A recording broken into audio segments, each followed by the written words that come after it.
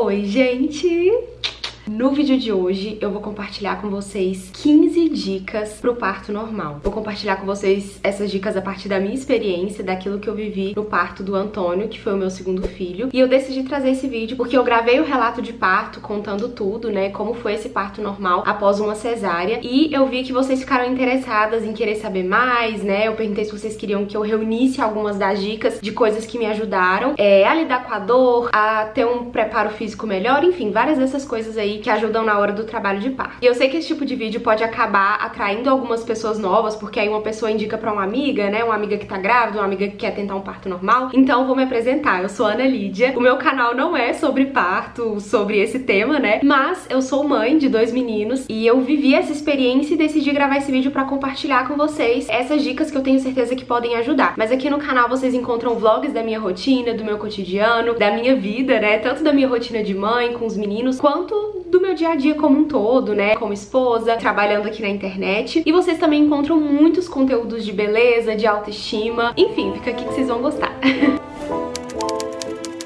Bom, então vamos lá. Como eu disse, eu reuni 15 dicas, eu selecionei as coisas que mais me ajudaram. E claro, isso daqui tá partindo da minha experiência, daquilo que funcionou pra mim. E aí você vai olhar pra sua realidade e sempre conversar com o seu médico, com o seu obstetra, enfim, né? Aquele óbvio que precisa ser dito. Dica número 1. Um, entenda a fisiologia do parto. Estude, conheça. Eu tinha que começar por essa dica, porque eu sei que muita gente tem medo do parto normal, muitas mulheres têm medo, têm traumas, assim, de coisas que ouviram sobre o parto normal experiências da avó, da mãe, enfim. E aí ficam muito traumatizadas com aquilo, ficam com medo do que é o parto normal. Mas se você não busca entender como que funciona, né, o que que acontece com o seu corpo durante o parto, como que vai ser essa chegada aí do bebê, se você não entende isso, o medo só vai aumentando, né? Porque tudo na vida que a gente não conhece, aquilo nos causa um certo receio, uma certa insegurança. Então essa dica, ela é fundamental. E não só para tirar o medo, mas para você saber o que fazer também. Hoje em dia, principalmente principalmente aqui no Brasil, né? Se você não entende sobre o parto normal, é muito fácil que você vá para uma cesárea sem necessidade, né? Uma cesárea que não seja realmente indicada. E aqui, gente, outro parêntese que eu quero abrir. Eu não tô aqui pra dizer que o parto normal é melhor do que a cesárea, que não sei o que, né? Que não pode ter cesárea. Gente, óbvio que não é isso. Até mesmo porque eu já passei pela experiência de uma cesárea, né? Uma cesárea muito bem indicada salva vidas. E graças a Deus que a gente tem isso, né? Esse óbvio também precisa ser dito. Então eu tô aqui pra compartilhar essas dicas. Mas se você, sei lá, colocar essas dicas em prática, assistir esse vídeo com aquela expectativa, no fim das contas você precisar ir pra uma cesárea de emergência, uma cesárea que foi bem indicada, ótimo, sabe? Graças a Deus por isso. Eu passei por essa experiência com o meu primeiro filho, eu queria muito parto normal, não foi possível, fomos pra uma cesárea e assim, ótimo, sabe? Maravilha. Mas continuando, entender a fisiologia do parto vai te ajudar não só nessa questão do medo, mas você saber como agir, né? Como eu tava falando. Porque se você não tem noção nenhuma do que é o parto normal, talvez você pode acabar acabar caindo em algum mito, em alguma coisa que realmente não faz sentido e acabar passando por uma experiência que você não gostaria. Então, o conhecimento vai te ajudar muito. E uma dica de perfil que eu amo seguir, que eu estudei e aprendi com ela sobre isso, é a Laura Padilha. Eu vou deixar o Instagram dela aí pra vocês, ela tem uma comunidade, tem curso sobre isso, os vídeos dela aqui do YouTube também são maravilhosos, maratonem, porque são muito bons. E ela realmente, assim, é fera no assunto. Eu aprendi muito, muito, muito com ela, então fica aí a minha dica pra vocês. A dica número 2 é é desejar aquela dor das contrações. Essa dica que veio como a segunda, porque eu vejo também muitas mulheres que têm medo do parto normal porque tem medo da dor. A dor, a gente precisa ressignificar ela, sabe? Você tem que lembrar sempre, sempre, sempre, tanto na gravidez para te tranquilizar e principalmente no trabalho de parto para te ajudar no trabalho de parto, né? Você tem que lembrar sempre que aquela dor é bem-vinda, é aquela dor que vai trazer o seu filho ao mundo, né? Algumas pessoas, assim, eu já vi algumas doulas, né, enfim, falando que a gente nem deve chamar aquela contração de dor, mas chamar de contração mesmo. E é realmente verdade que quando você abraça aquela dor, quando você aceita aquela dor, dói menos. Essa experiência eu vivenciei durante o trabalho de parto, porque nas contrações que eu tentava fugir delas, assim, às vezes vi uma contração e eu, ai, tentava fugir, tipo, não aceitava aquela dor, doía muito mais. E já aquelas dores que eu respirava fundo e, e aceitava e acolhia aquela dor, doía menos. Então, a forma como você enxerga a dor faz toda a diferença no processo. Sério, eu acho que esse, essa segunda dica é um dos principais principais segredos, assim, do trabalho de parto. Você pode fazer um milhão de exercícios, você pode estar com o corpo preparado, você pode estar entendendo tudo sobre o parto, mas se você não estiver realmente desejando aquilo, desejando aquela dor e, e acolhendo, abraçando aquela dor, o trabalho de parto pode não fluir. Até mesmo porque quando você enrijece muito o corpo e, e meio que rejeita aquela dor, a contração ela não é tão efetiva. Então, quanto mais você relaxa, quanto mais você de fato aceita aquela dor, né, o seu corpo ele vai. Eu não sei explicar aqui nos termos técnicos, né? Isso daí vocês vão aprender com a Laura Parteira e tudo. Mas se você acolhe aquela dor, a contração ela é mais efetiva, sabe? Se você aceita aquela contração, ela vai ser mais efetiva, né, pro trabalho de parto. Tem uma, uma explicação, uma razão de ser, né? O útero ele vai ter uma contração mais efetiva ali, enfim. Então eu vejo que isso fez muita diferença no meu trabalho de parto, porque eu queria muito aquilo, eu tava assim, desejosa aquelas contrações, sabe? E eu sei que às vezes é difícil entender isso, porque você pensa, poxa, eu não quero sentir dor, né? Dor é algo ruim. O ser humano, ele tende a fugir da dor, né? Isso é natural do ser humano. A gente quer aquilo que é mais confortável, aquilo que é mais prazeroso, enfim, a gente não quer de fato a dor. A gente quer fugir daquilo. E eu sei que às vezes é difícil dar essa dica e falar sobre isso. Mas uma coisa que pode ajudar muito também é você dar um sentido para esse sofrimento. Então você pode oferecer esse sofrimento pela conversão, pela salvação das almas, pela sua conversão. Oferecer esses sofrimentos a Jesus e falar assim: "Meu Deus, eu quero me unir ao Senhor, sabe? Eu quero participar do teu sofrimento na cruz". E você vai ali fazendo desse momento uma oração. Se você aproveita esse sofrimento, amar mais a Jesus crucificado, você vai conseguir tirar muito mais proveito de tudo, sabe? Pra sua vida,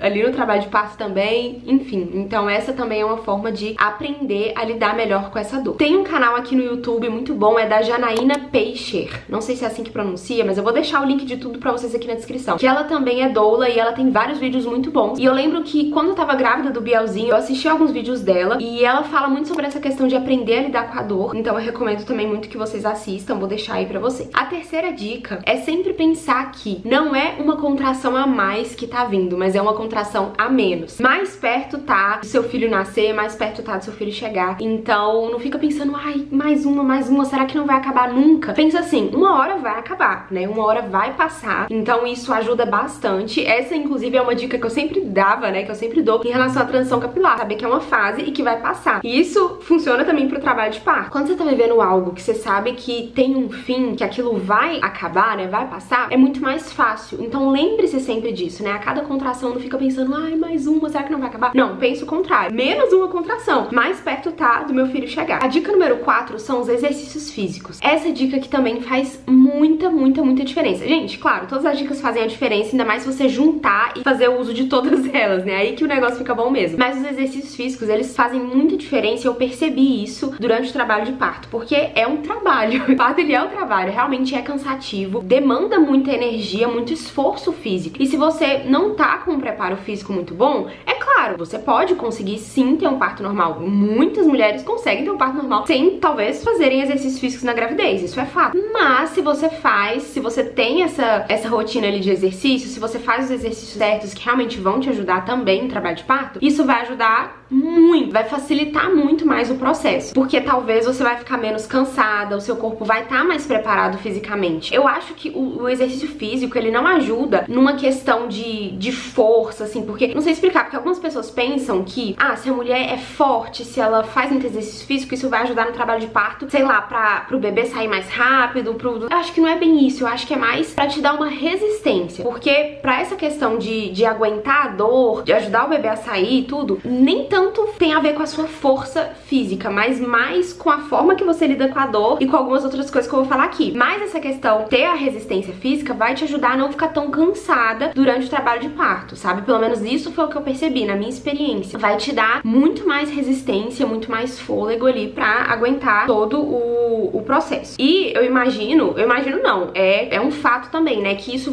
pode até te ajudar a entrar em trabalho de parto, né? Se você é uma pessoa ativa, se você faz exercício, se você tá ali fazendo agachamentos, né? Assim, de uma forma segura, de uma forma que realmente tá sendo constante também, ali nas últimas semanas isso vai te ajudar também a, a entrar em trabalho de parto. Eu fiz nessa gestação do Antônio, nessa segunda gestação, pilates e musculação. E fez muita diferença, foi maravilhoso, me ajudou bastante. A quinta dica é a fisioterapia pélvica. Eu vou dizer uma coisa pra vocês, eu não botava tanta fé assim na fisioterapia pélvica. Muita gente falava, faz porque é bom, faz porque vai ajudar na hora do trabalho de parto. E eu pensava assim, ah, tipo, na do Bielzinho eu não fiz e nem procurei saber muito sobre isso. E aí, nessa segunda gravidez agora do Antônio, eu falei, gente, eu vou fazer tudo que eu puder fazer, sabe? Tudo que tiver ao meu alcance. Eu sei que algumas pessoas às vezes não conseguem pagar por determinados serviços, não conseguem investir, mas na internet a gente também encontra muito exercício que é seguro de fazer em casa, muita informação gratuita, então também aproveitem. Mas assim, eu quis investir o máximo que eu podia, né, na minha realidade, e eu falei,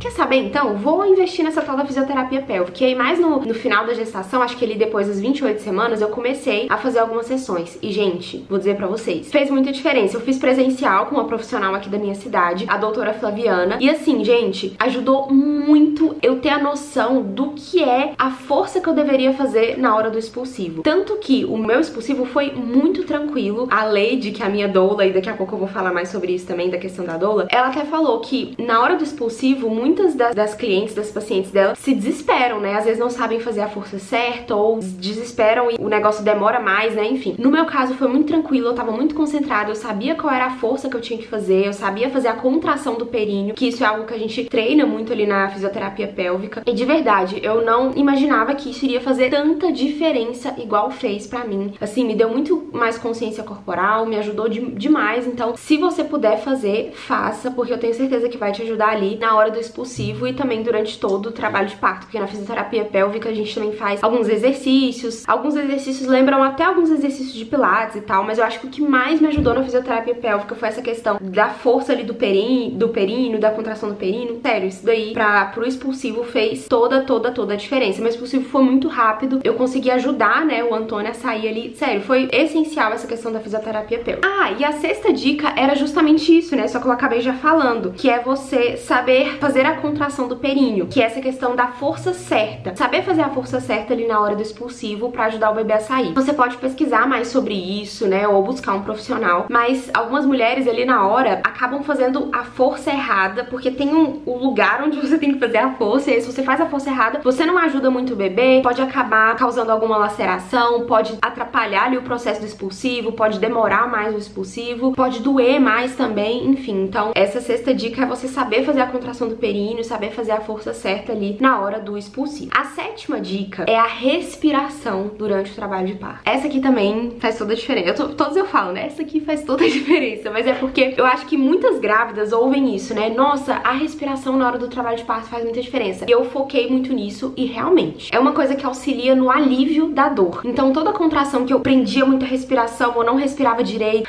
a contração doía mais. Agora quando eu respirava do jeito certo, inspirava, soltava, tudo, gente, aquilo ajudava. E de fato ajuda, tá? Na contração, porque abre espaço ali, eu não sei explicar também direito, né? Mas tipo, abre espaço ali. A contração é mais efetiva quando você respira direito. Se você pesquisar respiração pro parto normal, respiração correta, vai achar um monte de coisa. Mas eu ouvi de uma profissional que inclusive dá aulas maravilhosas no curso Bem Grávida da Araceli, que foi um curso que eu fiz também muito bom, recomendo. Vou deixar também o link aqui pra vocês. O profissional acho que chama Juliana e lá tem várias aulas de fisioterapia pélvica, respiração, ensina como é a respiração correta, mas ela fala assim que na hora do trabalho de parto, se você não lembrar a respiração correta, simplesmente respire, respire, né, bem e do jeito que você se sentir confortável. Porque às vezes você vai ficar tentando lembrar aquela respiração que você estudou, que você treinou, e talvez aquilo vai te desconcentrar mais, vai te deixar mais nervosa ou você não vai conseguir fazer. Então simplesmente respire, respire fundo, respire de um jeito que você vê que vai te ajudar na alívio da dor e que você vai se sentir melhor. E foi isso que eu fiz e assim ajudou muito, muito, muito, muito. Eu não sei nem explicar. A oitava dica, que eu jamais imaginei que eu iria fazer, mas que também ajudou muito, unida, né, com a respiração, que é a dica da vocalização. Eu assisti muitos relatos de parto de mulheres que falavam que durante o trabalho de parto vocalizavam muito, né, algumas vogais, tipo a, o, sei lá. E aí eu pensava assim, nossa, acho que eu não vou fazer isso, nada a ver, tipo, vou querer ficar caladinha, vou querer ficar na minha. Só que, gente, a hora que a dor foi apertando, que a dor foi aumentando, só a respiração já não tava auxiliando tanto assim no alívio Geralmente eu fazia a vocalização do A, não é você gritar, né? Porque de fato eu não gritei, mas é você, até porque o grito não ajuda, tá? Só te desespera mais e não, não, não ajuda em nada. Mas é você ficar tipo, a, a fazendo um A mesmo, tipo fazendo a vogal aí. Gente, ajudava muito, muito, muito, muito, muito, muito. Que valeu a pena fazer. E foi muito natural também. Aqui é uma dica bônus que eu quero dizer. Durante o trabalho de parto, talvez você vai sentir vontade de fazer alguma coisa, sei lá, respirar de um jeito, testar uma posição, fazer essa vocalização. O seu corpo ele vai meio que pedindo, sabe? E aí você tem que estar tá atenta para saber ouvir o seu corpo também e muitas vezes não ter vergonha. Tinha hora que eu pensava assim, ai, queria ficar caladinha, queria ficar bem quietinha, mas o meu corpo tava pedindo essa vocalização, ajudava, né, na questão do, do alívio da dor. Então também não tenha vergonha, sabe, às vezes de fazer algo ali que é ok, que vai te ajudar no seu trabalho de parto, sabe? Você saber ouvir o seu corpo faz toda a diferença também. A dica 9 também tem a ver com isso que eu tava falando, que é você experimentar posições confortáveis. Assim, saiba ouvir o seu corpo nessa questão das posições. Pensava que eu iria passar boa parte do trabalho de parto na bola, porque eu amava ficar ali na bola, fazendo exercício durante a gravidez. Aliviava muito, assim, quando eu sentia dor na coluna e tal, e eu pensava, nossa, durante o trabalho de parto, eu vou querer ficar só na bola, igual eu vejo várias mulheres por aí. E, gente, eu detestei. Eu fiquei poucos momentos na bola, eu não ficava muito confortável. Em alguns, assim, acho que mais no começo do trabalho de parto que eu consegui ficar, mas depois eu não, não me senti muito confortável. Parece que doía mais. Você tem que ir testando as posições. Agacha, fica em pé, deita, fica de lado, sabe? Vai, vai experimentando, porque o seu corpo ele vai pedir também a posição que fica mais confortável. Ter uma doula ou uma enfermeira obstetra ou as duas coisas. Gente, essa dica é maravilhosa. Quem teve comigo foi a Lady, que é minha amiga e é doula e também é enfermeira obstetra. E isso ajudou muito ficar mais tranquila, a ter esse apoio ali, porque quem assistiu o relato de parto aí viu. Assim que a bolsa estourou, a gente foi pro hospital e a médica examinou, mas depois eu voltei pra casa. Fiquei umas três horas aqui em casa, nesse começo, né, do trabalho de parto, até chegar na fase ativa mesmo. Então eu fui pro hospital, eu já tava com 7 para 8 centímetros de, de dilatação. E isso é muito bom porque as chances de você ficar ali enrolando no hospital, né? O hospital também às vezes é um ambiente mais tenso que pode te deixar mais, mais nervosa, né? E se você vai pro hospital logo no começo do trabalho de parto, ou às vezes nem entrou em trabalho de parto, era só pródomos e você não sabia, aí você corre pro hospital e às vezes isso pode te deixar mais tensa, mais nervosa, pode atrasar o trabalho de parto. Então ter a, a doula aqui em casa nesse começo do trabalho de parto fez toda a diferença. Ela ajuda também a fazer massagem, te dá dicas das posições, né? Eu não queria ir pro chuveiro, eu não tava com vontade de ir pro chuveiro, mas ela sugeriu para poder auxiliar mais nas contrações, né? O chuveiro quente, a água quente ajuda nisso. E aí fez realmente toda a diferença. Então a doula pode te ajudar a direcionar. Claro que ela não vai ser ali invasiva e, e, tipo falar tem que fazer isso, tem que fazer aquilo. Muito pelo contrário, o papel da doula é também te ouvir, né? Te ajudar a ouvir o seu corpo. Então quando ela sugeriu isso do, do chuveiro, né? Ela falou com muita tranquilidade. Ela falou, Ana, você quer tentar, quer experimentar? Talvez pode ajudar, né? E tudo. E aí, ok, a gente foi, realmente ajudou, sabe? Então é muito bom isso. E o bom também é que sempre tava ouvindo os batimentos do bebê pra ver se tava tudo bem com ele. Sempre tava me observando, né? Pra ver se tava tudo bem. Faz o exame de toque, né? Ela fez o toque, então a gente sabia com quantos centímetros eu tava pra ir pro hospital. Porque muitas mulheres vão pro hospital, como eu falei, e não estão ainda com nenhuma dilatação, e aí pode atrapalhar o processo.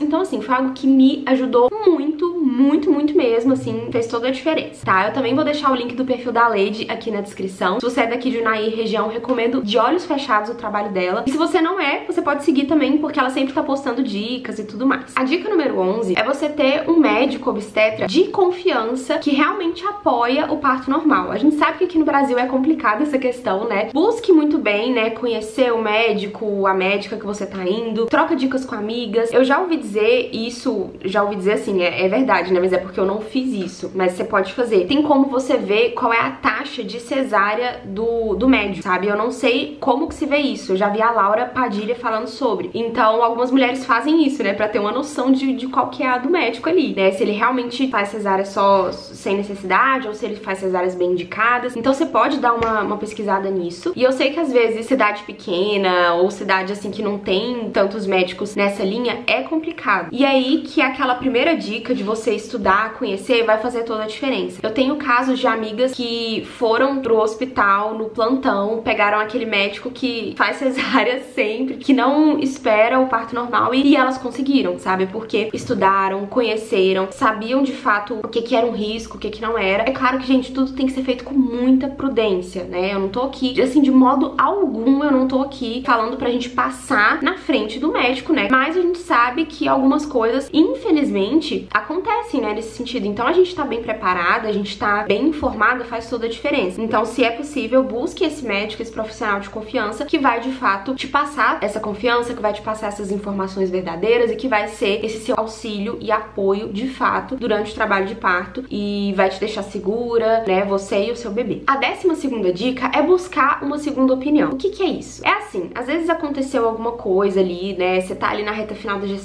e o médico te fala, nossa, não tem como ter o parto normal por causa disso, disso e daquilo. E aí já fala assim, tem que marcar cesárea logo. Muitas vezes isso realmente pode ser verdade, mas às vezes pode ser, né, tem que examinar. Então, se é possível para você, busque uma segunda opinião. Eu acho que na verdade, em tudo que envolve algo grande na nossa vida relacionado à saúde, é muito bom que a gente busque uma segunda opinião com outro médico, não é verdade? É bom fazer isso. Então, é uma dica que funciona também para essa questão da gravidez, do parto. Então, sempre que acontecer algo talvez um pouco fora do padrão e você tá com dúvida, talvez você tá um pouco desconfiada, não tá se sentindo tão segura, busque um segundo médico, uma segunda opinião. Claro, de um médico de confiança também, né? Que de fato vai te ajudar ao invés de te deixar mais confusa. A décima terceira dica são os métodos naturais, coisas que você pode fazer ali na reta final para ajudar o bebê a nascer. Gente, aqui essas dicas, quando a gente fala assim, algumas pessoas preocupam, né? Nossa, mas será que não traz algum risco e tudo? São coisas que são naturais, que se você faz ali, sei lá, depois das 39 semanas, que está tudo bem com o bebê, né? Que tá tudo bem com você, o bebê tá encaixado, tá tudo ok, já tá assim tudo pronto pro bebê sair. E aí você faz esses métodos naturais, em geral, mal não faz, né? E se o bebê não tiver que nascer, ele não vai nascer, né? Com, sei lá, com um chá que você toma, com alguma coisa. Então, na minha reta final, já tava tudo bem comigo, com o bebê, ele já tava pronto pra nascer. E aí, conversando com a Lady, né? Minha doula, enfermeira obstetra, ela foi me indicando algumas coisas naturais, tranquilas que eu podia fazer. Então, tomei chá, tomei chá de canela que ajudou, né? Tomei aquele shake de rícino. Então, tudo isso você pode buscar, né? Essas alternativas naturais, mas claro, sempre conversando com sua doula, enfermeira obstetra, com seu médico, enfim. A décima quarta dica é a alimentação saudável. Isso vai te ajudar a ter mais disposição, a ficar menos ansiosa, a ganhar menos peso e se sentir mais leve, mais disposta, né, no final da gestação. E tudo isso com certeza vai impactar no seu trabalho de parto. Eu vejo isso muito na minha experiência,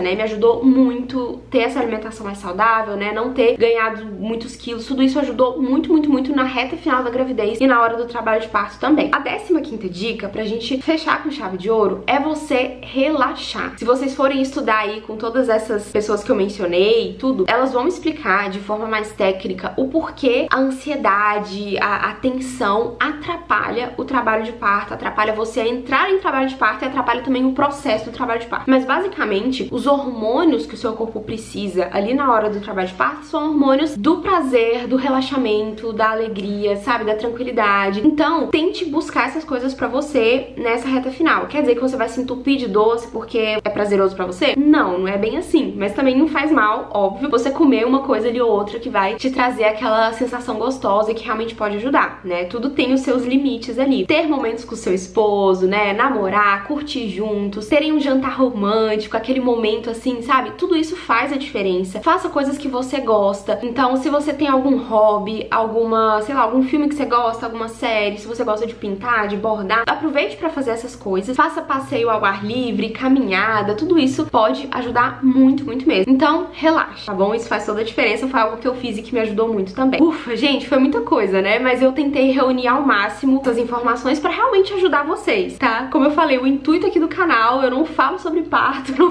sobre isso, mas eu compartilho a minha vida, né? Também compartilho a minha vida como mãe, minha rotina, então achei que fazia sentido e de fato eu queria ajudar vocês aí que estão assistindo. Então compartilhem esse vídeo com a amiga que tá grávida, com a amiga que quer tentar um parto normal, compartilhe aí com todo mundo, porque essas dicas merecem ser compartilhadas. Agora eu quero saber de vocês, me contem aqui nos comentários quais dessas dicas vocês aí que já tiveram bebê usaram e fizeram a diferença, ou quais dicas que eu não falei e que funcionou pra você, que você sabe que faz a diferença. Comenta aqui também pra gente reunir mais e mais dicas, tá bom? Um beijo, fiquem com Deus e até a próxima. Tchau!